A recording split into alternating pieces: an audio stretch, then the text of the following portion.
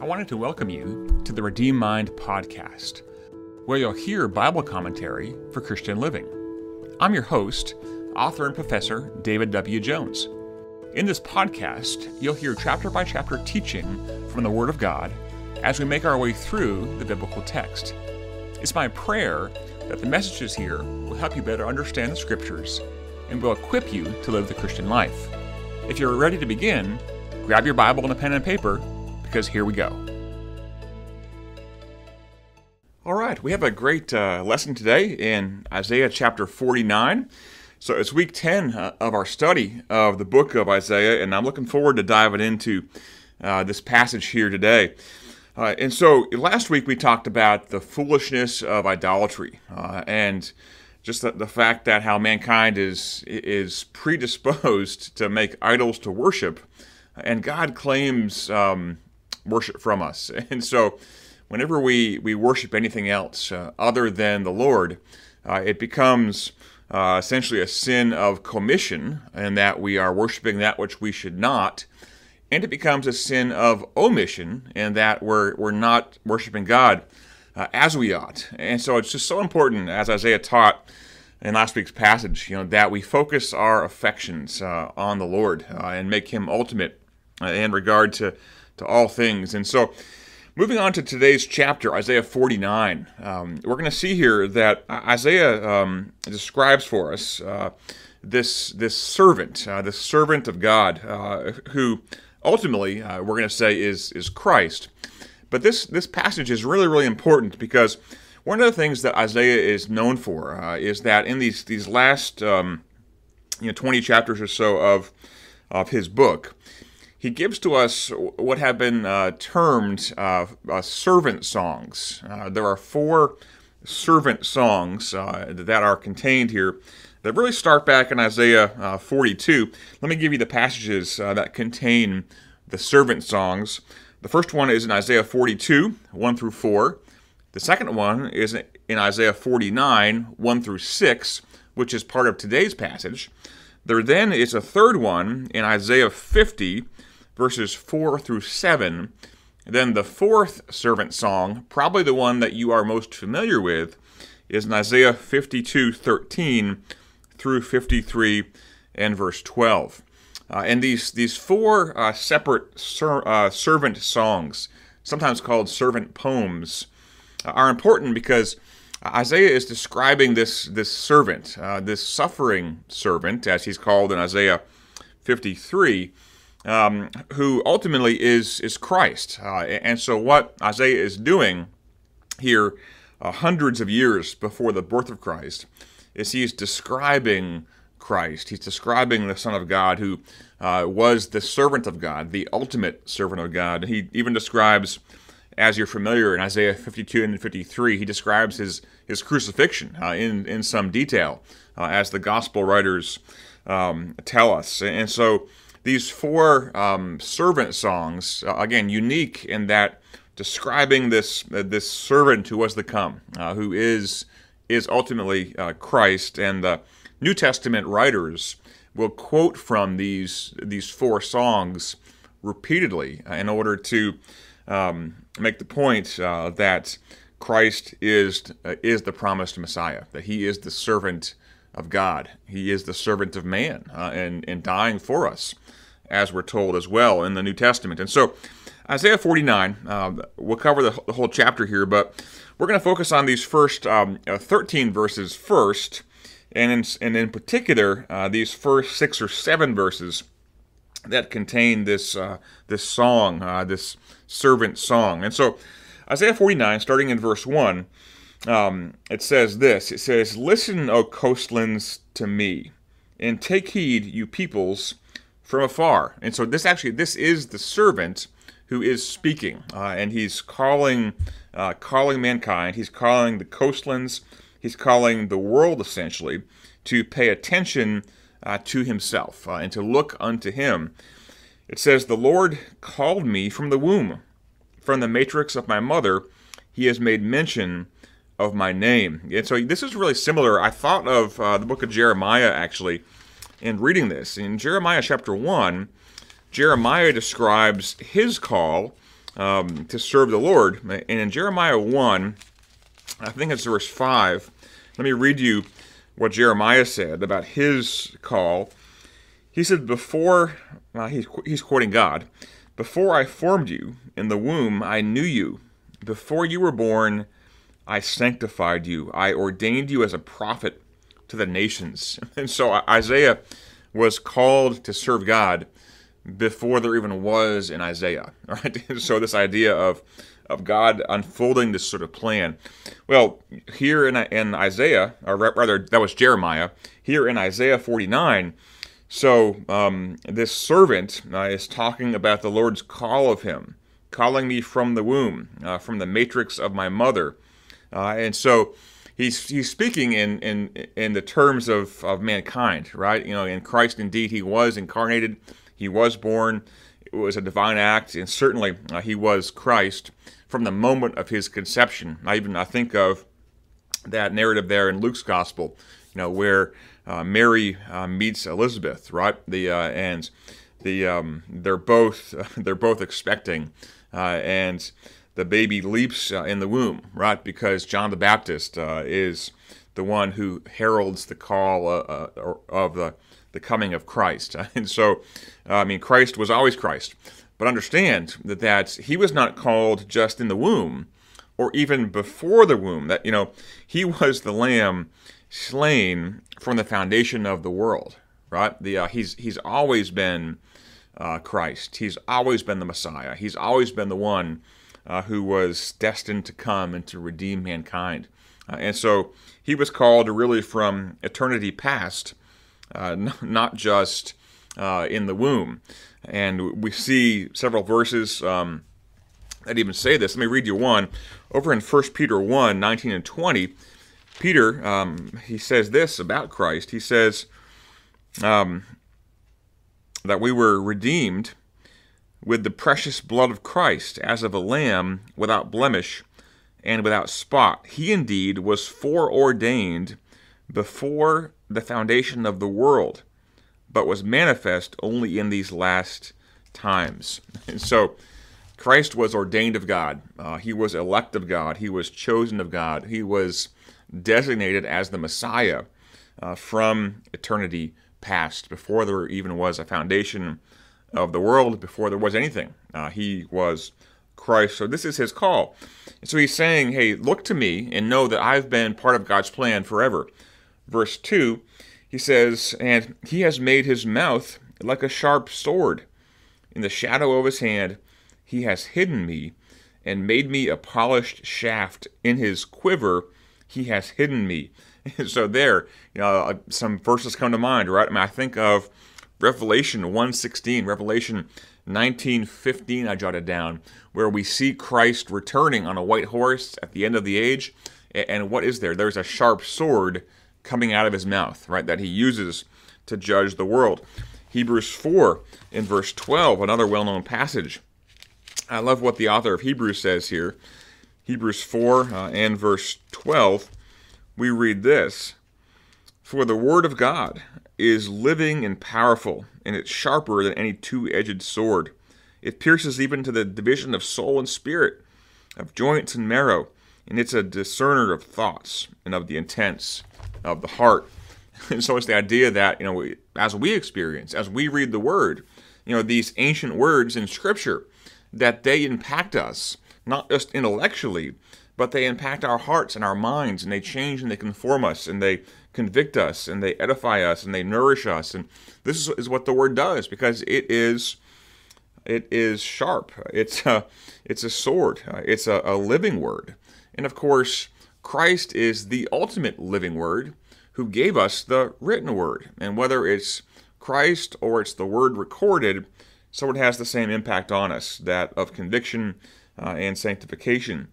Verse 3, he goes on and says, And he said to me, You are my servant, O Israel, in whom I will be glorified. And so, hey, this is interesting here, right? Because the servant who is talking, who I've said is Christ, well, here God calls his servant Israel.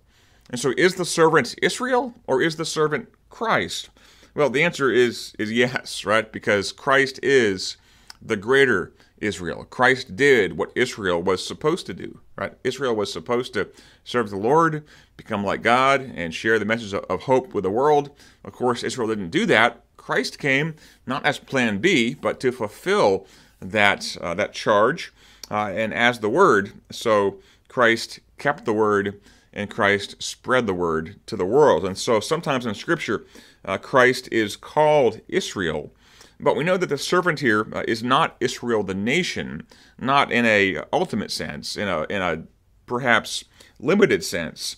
As we'll see here in the passage, it is talking about the Jews in captivity in Babylon and their release. But ultimately, that was a picture of the work of Christ to address our captivity to sin and to release us uh, into joy and flourishing with Him.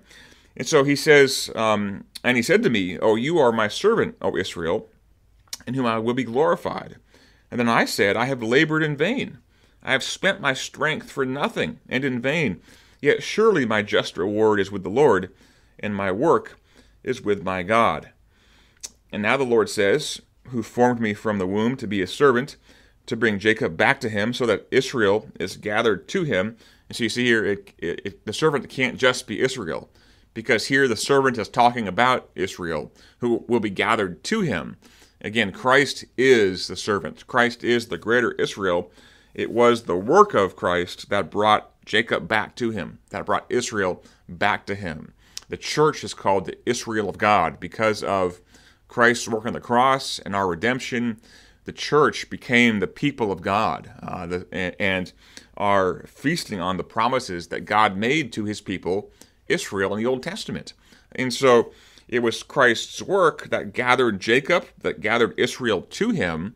And we know Romans 11, in the end times, there will be this gathering of ethnic Israel to the Lord. And so you see, we see all these levels of fulfillment of this great work of the servant uh, of God whom we whom we follow. And he goes on here uh, and he says, middle of verse 5, he says, For I shall be glorious in the eyes of the Lord, and my God shall be my strength. Indeed, he says, Is it too small a thing that you should be my servant to raise up the tribes of Jacob and to restore the preserved ones of Israel? That's you and I, the church. I will also give you as a light to the Gentiles. There it is. And you that you should be my salvation to the ends of the earth. Thus says the Lord, the Redeemer of Israel, their Holy One, to him whom man despises, to him whom the nations abhor, to the servant of rulers. Kings shall see and arise, princes also shall worship, because of the Lord, who is faithful, the Holy One of Israel, and he has chosen you. So here's, here's this sort of promise um, that uh, the work of the servant, the work of Christ, well, we read here as the servant, in a, in a sense, he laments, he talks about, he says um, in verse 4, he says, I have labored in vain. I have spent my strength for nothing and in vain. And this is just what John says in John 1, verse 11. Uh, John says that Christ came to his own, and his own did not receive him.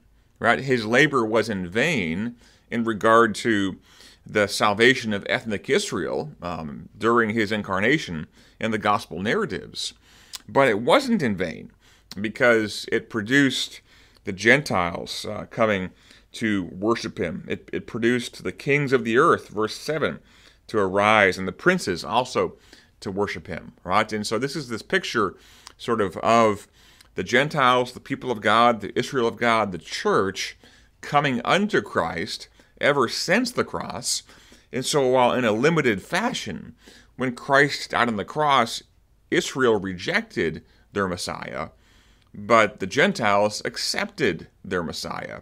And ever since that time, for 2,000 years now, so the Gentiles and the kings of the earth uh, have been coming to him. And we know that in the end times, thus everybody will come to him. In Philippians 2 9 through 11, let me read you this. You know, interesting passage here. Uh, I wish we could we could unpack Philippians uh, you know two um, I, like I like I would like, but let me just read you just a few verses here. Philippians two, starting in verse nine. Therefore, God also has highly exalted Christ and given him the name which is above every name. Why? That at the name of Jesus, every knee should bow, of those in heaven, and of those on earth, and of those under the earth, and that every tongue should confess that Jesus Christ is Lord, to the glory of God the Father.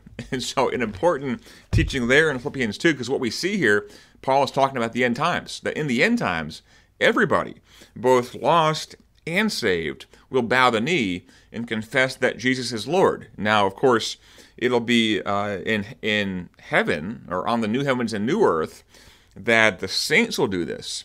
But even those who are separated from God, he says, everyone will eventually confess that Jesus is Lord, just as the demons believe that he's God and tremble, James 2. So even at the end of the age, even those who will spend a Christless eternity in hell, even they will admit, yes, he is God. Yes, he was right. Yes, the gospel is true. Uh, and yes, we are deserving of the punishment that we're receiving for rejecting him. And so while his work again was in vain in a limited sense there at his death on the cross, ever since that time, so people have been pressing into the kingdom. And at the end, all will admit that he is who he said he was. Isaiah 49, verse 8. Thus says the Lord, he goes on and says, In an acceptable time I have heard you, and in the day of salvation I have helped you. So this is interesting here. So don't miss this this change here uh, in the speaker. And so in Isaiah 49, 1 through 7, it is the servant, it is Christ who's talking to the world. But here in Isaiah 49, verse 8, we shift the speaker. It says, Thus says the Lord. And now it's no longer Christ, the servant, speaking to the, the coastlands, to, to the world, verse 1, but now it's the Lord, it's the Father, it's God speaking to the servant, speaking to the Son. And so, what a great privilege we have here to look into Isaiah 49, uh, 8 down through verse 13, where we have this sort of uh, this window where we're getting to see this this discussion. It's really a monologue between the Father and the Son. This is an actual conversation they had in eternity past. This is what the Father said to the Son before there was anything. And, and this is what he says. He says, In an acceptable time, I have heard you, and in the day of salvation, I have helped you. I will preserve you and, and give you as a covenant to the people to restore the earth, to cause them to inherit desolate heritages, that you may say to the prisoners, Go forth to those who are in darkness, show yourselves. And so here he's describing, the Father's describing the effect of the Son's work as the servant on the cross before it happens. And so this is what happens in your life and in my life. We start to flourish. Uh, we're set free as prisoners. We are preserved by Him. And it's all because of this promise that He's made, this covenant to the people to redeem and to restore. There's more. He says, middle of verse 9, They shall feed among the roads, and their pastures shall be on desolate heights. They shall neither hunger nor thirst, neither heat nor sun shall strike them, for he who has mercy on them will lead them. Even the springs of water he will guide them unto. I will make each of my mountains a road, and my highways shall be elevated. Surely these shall come from afar. Look, those from the north and the west, and these from the lands of Sinim. He says, Sing, O heavens, be joyful, O earth, and break out in singing, O mountains, for the Lord has comforted his people, and he will have mercy on his afflicted. And so here the Father is describing the effect of the gospel upon the world. Uh, and he says, uh, actually, six separate things I just read that will happen. He says, speaking to the Son, he says, first of all, I have heard you.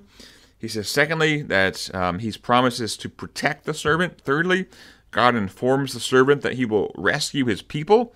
Fourthly, God notes that the servant will provide abundantly for his people. Fifthly, God describes the easy path um, to the servants uh, for his people, the mountains being made low, the paths being clear, as we read there in verse 11.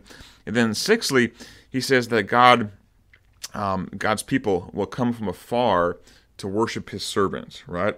They'll come from all lands and they'll worship. And this is what God has promised the Son. He's promised the Son us.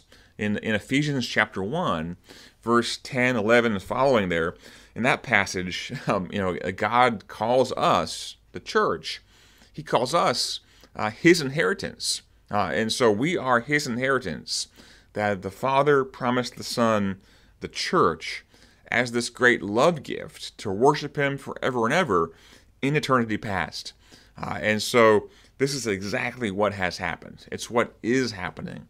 The church is growing, the kingdom is flourishing. And while the world is falling apart, you know, I was just, just thinking about this earlier this week. You know, in, in the midst of this time of chaos that we're living with elections and violence and everything going on, you know, it's never been more clear that, you know, the cultural institutions and all of the resources of mankind, all the governments of man will not save. Every, everything is falling apart. But what's not falling apart? Uh, the Father's love for the Son and the Son's love for his people. Uh, and the church is unchanging. The church is growing. Uh, the kingdom is flourishing. And God is at work in a way that is so effective, but yet is so hidden from the watching world. But we know it's true, and we experience it as his followers. Well, be encouraged as the Son is encouraged by the Father uh, that God has got this. He's over all things, and He is at work. Well, he goes on here and starts to say some other things, starting in verse 14. Uh, and starting in verse 14, there's an, another shift in the speaker, right? And so the first seven verses, it's the it's the son, the servant, speaking to the world. In 8 through 13, it's the father speaking to the servant or to the son. But then starting in verse 14, he personifies uh, the people of God. He personifies Israel, whom he calls Zion, which is, is another name for Jerusalem. And he, he personifies uh, God's people um, as a woman uh, who is lamenting uh, the captivity uh, that she was experiencing, God's people in this context. While these promises were all designed to be encouraging and are great and are really um, unfathomable, in the then context of those reading this book, they were in captivity in Babylon, right? Uh, and it seemed like the world was winning, uh, and seemed like they had been defeated, and there they were. Uh, and in that context, he personifies Israel, God's people, uh, and he and he complains, or she complains, about her context. So, verse 14. But Zion said, "The Lord has forsaken me, and my Lord has forgotten me." right? I mean, just as you and I react, right? When we lose our job, when our kids are going crazy, when our spouse leaves us, when, when we get diagnosed with cancer, you know, whatever happens in our lives, right? The, um, you know, we claim, we think, well, God doesn't know. God doesn't care. God doesn't love me. Like, you've forsaken me. But God says, no, no, no, no, no. Uh, it, it's verse 15. And 15, really down through verse 21, this is now the Father again, uh, speaking to to us. So he spoke to the servant in 8 through 13. Here in 15 through 21, he speaks to us, those of us living in the fallen world. And he asks this, this question. He says, Can a woman forget her nursing child and not have compassion on the son of her womb? Surely they may forget, yet I will not forget you. And, and so God likens himself here uh, to a mother who has a nursing child. And there's no mother who uh, will forget her nursing child. God says, no, that's impossible. Uh, and my love for you is like that, right? Uh, and while perhaps um, there may be some bad parents out there, I mean, who do neglect their children, yet surely I will not forget you, he says. So he's trying to speak of sort of the ultimate love that human beings can relate to the love between a, a mother and a child. He says, verse 16, See, I have inscribed you in the palms of my hands. And so maybe this is a allusion to his crucifixion, right? What would happen 700 years later after he after this was written by Isaiah? He says, "I have inscribed you in the palms of my hands. Your walls are continually before me. Your sons shall make haste. Your destroyers and those who laid you waste shall go away from you. Lift up your eyes and look around and see all these gather together and come to you. As I live, says the Lord, you shall surely clothe yourselves with them, all as an ornament, and bind them on you as a bride does. He essentially says here that there's going to be uh, this this incredible work of God, uh, and you're going to return to your land. It's you're going to dwell in my presence. I've not forgotten you. I'm at work, um, and uh, just as there's celebration at a wedding, he mentions the bride there in verse 18, and so celebrate that you are the bride of Christ. Celebrate that you are now married to me. Verse 19, he says, "For your waste in desolate places." In the land of your destruction will even now be too small for the inhabitants, and those who swallowed you up will be far away. The children will, uh, you will have, after you have lost the others, will say again in your ears, This place is too small for me. Give me a place where I may dwell. Then you will say in your heart, Who has begotten all these children? Since I have lost my children and am desolate, a captive, and, a, and, a, and wandering to and fro. And who has brought these up? There I was, left alone. But these, where did they come from? And so, again, speaking here in the context uh, of, of Israel. And so there they were in captivity in Babylon, right? And many of the ethnic Jews had been killed, uh, were deported, uh, and the nation you know, had been conquered. But the picture here that God presents is He says, No, no, I, I'm, I've got this. I love you. I'm over this. I'm at work and you're going to return t- to the promised land. And of course, we know that they did do that eventually after 70 years. But that itself is a picture uh, of God's people, the church, coming to live in his presence in the New Jerusalem, right, that we read about in, at the end of Revelation. Uh, and so, just as they were exiled and returned from Babylon to Jerusalem, so we, mankind, who are in exile to sin, are redeemed by Christ and we return to the new heavens, the new earth, to Jerusalem to worship God. And the picture here he describes, he says, is that oh, so so while some of the Jews have been killed and exiled and all that, he says at the, at the end of time, that and when God's people flow in to worship him, you know, this innumerable company of saints that John sees in Revelation who are worshiping God, he says there's going to be so many people that there's not even going to be room for them in, in Jerusalem. And you're going to be asking yourselves, hey, where did all these people come from? Who begot them? And who fathered them? Right? I mean, it's, I mean, where did all these, these folks come from? Right? It, and so this is this, this surprise of joy that is coming. And so, you know, I know that in the world that, that we're in, you know, it's it's hard, right? It's always hard. It's difficult. It's challenging. We have sinful coworkers and neighbors, and people in our families, uh, and there's sickness and illness and natural disasters and evil and cancer and all these things. But understand this, right? Just as God was patient with you and I, He was merciful and He was long suffering until He redeemed us. So God is merciful and He's long suffering uh, toward those who are even inflicting us now, towards the lost, uh, towards your uh, unredeemed spouse, toward your you know, your kids who aren't yet saved, towards your, your boss who marginalizes you because of your faith. God's patient and He's long suffering towards these who don't yet know Him, that there may be time for them to be redeemed uh, and to press into the kingdom of God. Uh, and so, again, don't forget this principle, right? You know, God always saves His best for last. Uh, and so, be patient, be encouraged. God has got this just as he was patient with you when you were lost. So rejoice that he's patient with those who are not yet redeemed, who maybe are even making your life miserable in the here and now, right? Uh, rejoice that God is patient with them and that, that there's still time for repentance. And understand that through our patience, and God has promised us these great things at the end, uh, and He saves His best for last. Well, verse 22 through verse 26 the Lord goes on here and he says a bit more uh, about um, what he's doing and who he is uh, and, why his people can be encouraged. He's not abandoned them, he's working in them and through them and for them. He says, verse 22 Thus says the Lord, Behold, I will lift my hand in an oath to all the nations and set up my standard for the peoples. They shall bring your sons um, in their arms, and your daughters shall be carried on their shoulders. Kings shall be your foster fathers, and their queens your nursing mothers.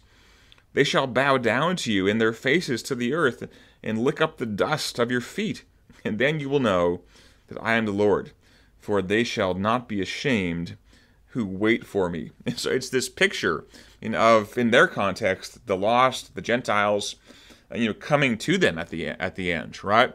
And this is what will happen to us when we are in the New Jerusalem in His presence.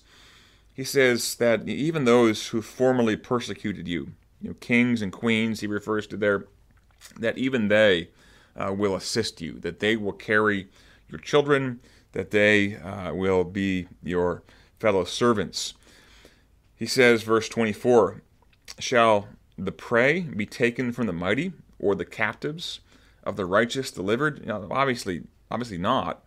And so here he's just calling us again to, to wait, to wait on him.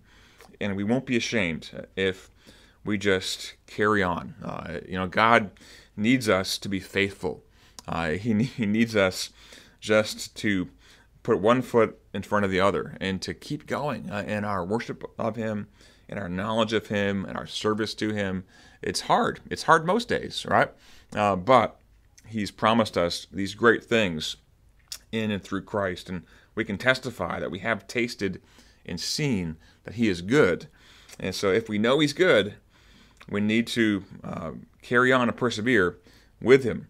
Verse 25, he says, But thus says the Lord, even the captives of the mighty shall be taken away, and the prey of the terrible be delivered. For I will contend with him who contends with you, and I will save your children. I will feed those who oppress you, and I will do so with their own flesh. And they shall be drunk with their own blood, as with sweet wine.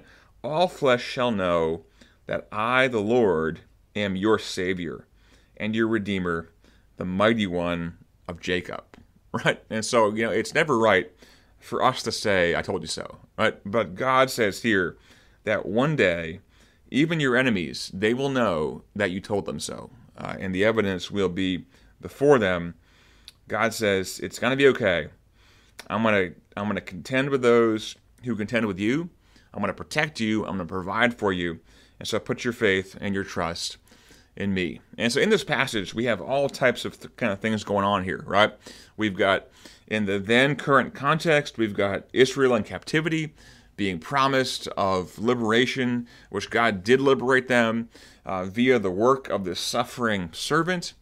We then have, you know, these these promises that are made much more broadly to us, the church, and He's saying, "Hey, at the end of the age, I'm going to um, I'm going to bring you into myself, and I'm going to provide for you, and I'm going to take care of you. And we've also got this description of salvation in the here and now, how you and I have been redeemed via the work of the servant. Now God, God's got our backs. He's taking care of us. And as Paul says, man, the worst thing that could happen to us uh, is that we die and go and be with Him. And so, um, let me encourage you: uh, take a long range view of things. Don't become distracted. Don't become discouraged by the suffering in the here and now, by the anxiety uh, of the, the current cultural context. No, look unto Christ. He is the author and the finisher of our faith, uh, and He indeed will provide and protect us as we serve Him. Be encouraged this week, believers. I'm looking forward uh, to our next study, and so I'll see you uh, in um, our next chapter of Isaiah. Have a great week. I hope that you've enjoyed this Bible teaching. I wanted to invite you to like and to subscribe to this broadcast on the app or the website that you're currently using. As a reminder, when you take time to like and to subscribe to the Redeemed Mind, you help others like you find this Bible teaching. Also, I wanted to encourage you to visit the website redeemedmind.com where you'll find Bible commentary that you can use in your own study of God's Word. May God bless you and keep you until we meet again.